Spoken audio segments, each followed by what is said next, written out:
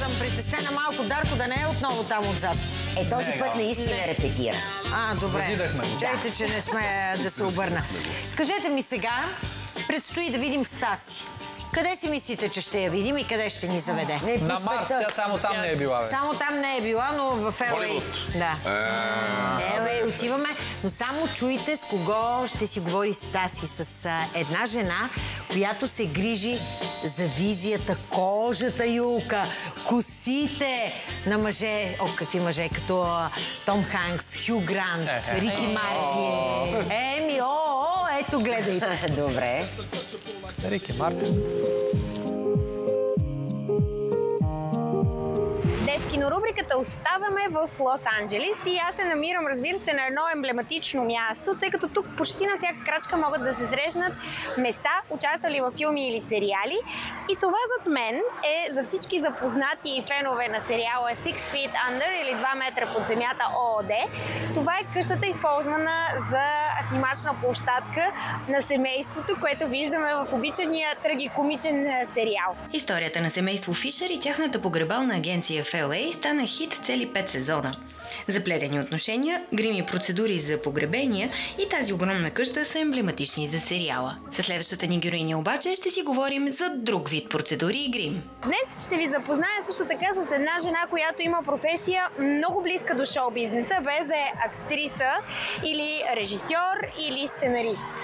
Тя е ам, на български няма дума за нейната професия, но тя на английски се казва грумър или това значи някой, който се грижи за външния вид на мъжете.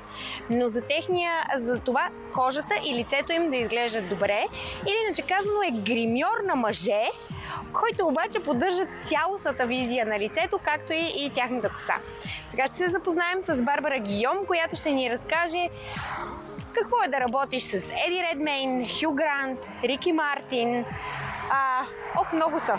Нека тя да, нека чуем Барбара. Вижте я. Барбара, удоволствие е да съм тук. Много ми е приятно да се запознаем. И на мен, и с теб, и с Декстър. На Декстър му е много удобно тук. Той си казва, да, моля ви, искам да участвам. Tell me a little bit more. Let's start with Да започнем с малко история за теб. Защо дойде към LA и кога? So I moved to Los Дойдох в Лос Анджелис през 2002, тогава бях модел, съпругът ми, който вече е бивш, искаше да бъде актьор. Живеехме в Барселона и решихме, че LA е добра идея. Синът ни още беше бебе и имахме избор между Лос Анджелис и Нью Йорк. Нью Йорк беше по-добрият избор за мен, за кариерата ми на модел, но не исках да отглеждам дете там. И така дойдохме тук, което не беше добре за мен професионално като модел, но за сина ми беше много по-добре. and you became uh, a makeup artist. И след това ставаш гримьор. Yeah, so I always liked makeup. You know, it was you know. Да, винаги ми е било интересно и като модел съм била заобиколена от гримове. Не ми хареса да бъда модел в LA. Беше много по-различно от Европа и си казах, че ще пробвам нещо друго, което ми е познато. Започнах да пробвам върху приятелките си, познавах и много фотографии. И така натрупах някакъв опит.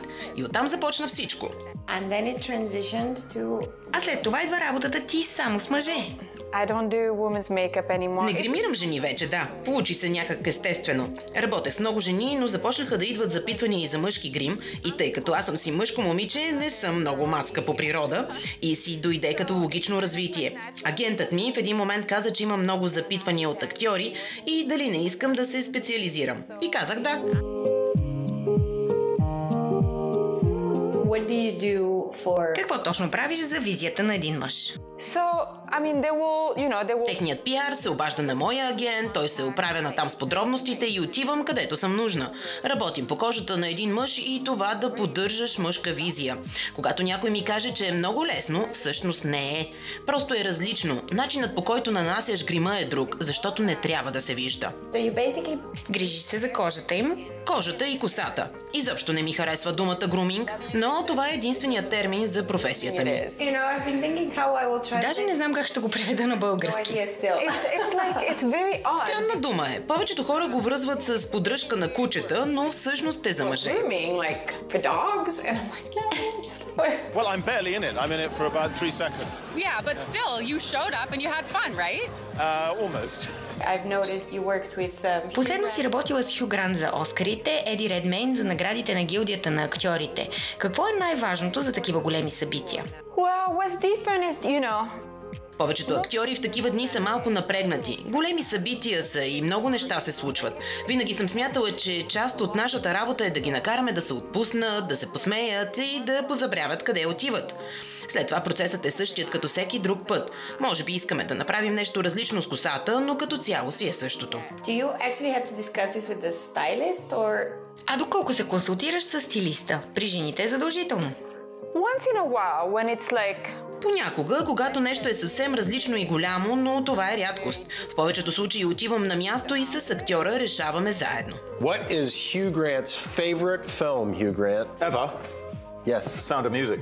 It's a difficult situation. I'm married to a Swedish woman who comes from the north of Sweden where men are really men. They're, they're so manly they hardly speak and they chop wood.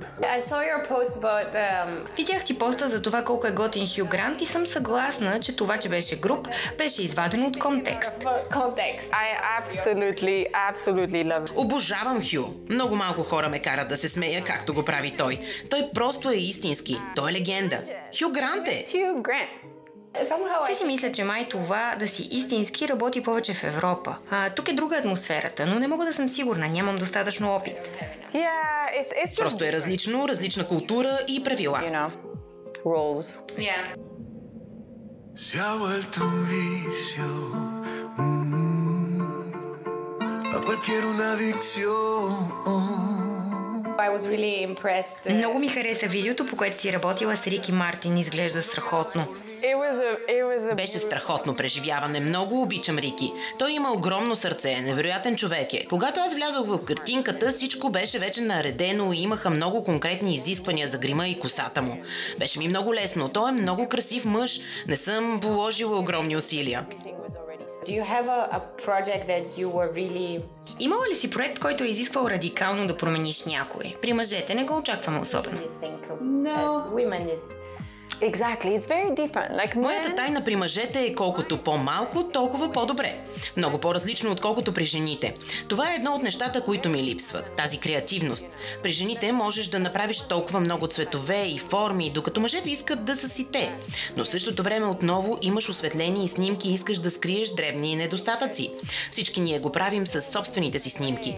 И ако са правили през турне наскоро, са изморени. Имат кръгове под очите, когато пътуват непрекъснато по целия свят. Но винаги целта си остава един мъж да си е мъж. keeping a man looking like a man. As simple as that. Simple as that. А имаш ли приятелски контакти с някой от тях? Знам, че тук това е по-трудно. Те са си нормални хора и това им е работата. Те са известни с нея, защото са добри. Но иначе си имат живот с всичките му плюсове и минуси, като нас. А хората забравят това. You know, you know? yes, when Като ги гледат под светлините на прожектора, няма как да не се забрави това. next А това ли е следващата стъпка за теб? Yes. Yes, yes, yes. So Да, покрай работата ми с мъжете получавам много козметика да изпробвам. Но все не намирах перфектното масло или е твърде мазно, или не хидратира достатъчно, или миризмата не е окей за мъже. Не исках да промотирам и нещо, което средно статистически човек не може да си закупи. Така че създадох това само за клиентите си първоначално. Само за мъже ли? И за жени. Не слагам нищо на лицето на клиентите си, което не съм пробвала самата аз. Голям риск е иначе. Това лице е пробвало много.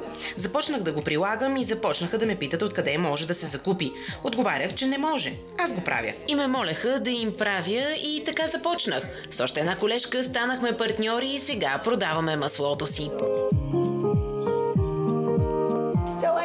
Have no regrets of moving to Не съжаляваш, че си дошла насам, май. Въобще не съжалявам. LA си е звяр сам по себе си и не можеш да го сравняваш с друг град. Това беше грешката ми в началото. Казах си, в Испания това е друго или там е по-ефтино, но истината е, че просто е различно. Тук съм вече 20 години и ми харесва. And you have a И имаш чудесна работа. Пожелавам ти още много такива продукти. I know, I know. We have more. We have more coming. Ще имаме още, върви страхотно. Been doing really well, so yeah, it's really good. Благодаря ти за времето. Много благодаря. Appreciate it. Мокра. Еми, не е лоша професия да се въртиш около красиви мъже и малко да се погрижиш за визията им. Ти ще зарежеш ли цялата тая легенда, която се създава България, гала, за да отидеш в Холивуд да гримираш Джордж Куни, ако сега можеш? И да Е, тя ти- не е гримьорка. Е, нищо, да тя ще се научи. А, а да, и въобще цял живот само това да правя. Само за него да отговаряш всеки ден. А не, за малко мога да ида да го погримирам. Малко да го Да, малко да да погримирам. го погримирам? Еми да, малко за да някоя роля, за нещо, но така постоянно. Не, просто не ми се живее в Холивуд. Да. Да. Иначе за. Джордж Куни, ако дойде тук, ще го гримирам всеки ден. Той защо не дойде? Стефане, Стефане. Да, за мен За- женската за грим козметика- говорим. А, за, ами, за грим. За мен женската козметика е само GS, защото виждам резултатите. И Лука, спрете една реклама, пуснете сега. That sunshine state where the bomb ass him be. The state where you never find a dance floor empty and pimp speed. On a mission for